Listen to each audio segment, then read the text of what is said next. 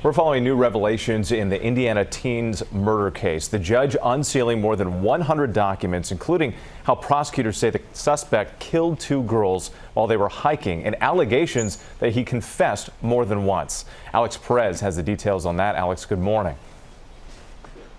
Hey, good morning, Whit. This is the first time we're hearing those new details about those alleged confessions the suspect made while in custody.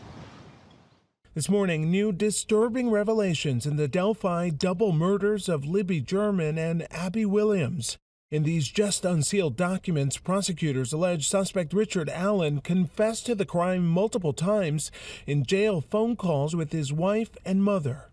According to the more than 100 court documents obtained by ABC News, prosecutors say Allen allegedly admitted that he committed the offenses that he is charged with no less than five times, including in a phone call to his wife on April 3rd, where he allegedly said several times that he killed Abby and Libby before she abruptly ended the call.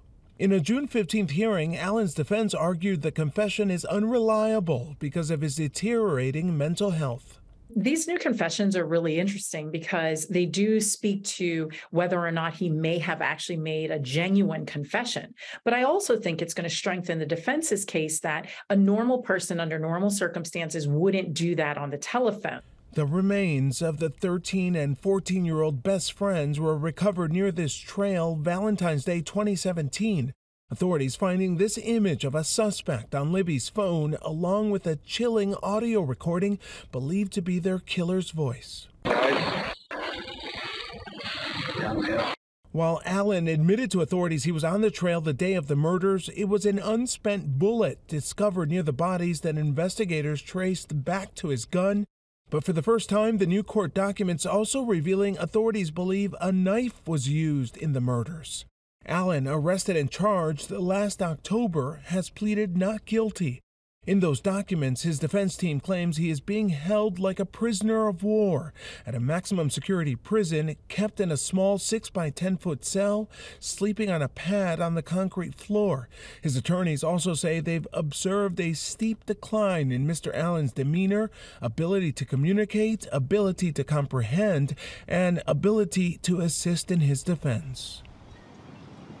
And the trial date for the suspect has been set for January of next year. Guys? All right, Alex, our thanks to you for your reporting.